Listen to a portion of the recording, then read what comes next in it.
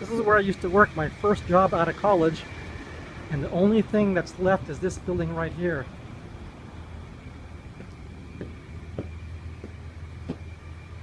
Let's see. International Rectifier. And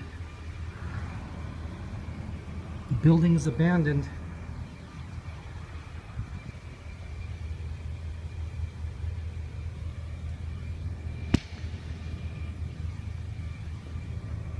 This is where I used to work. That building wasn't there. There used to be a big basement in there. I think they tore it down.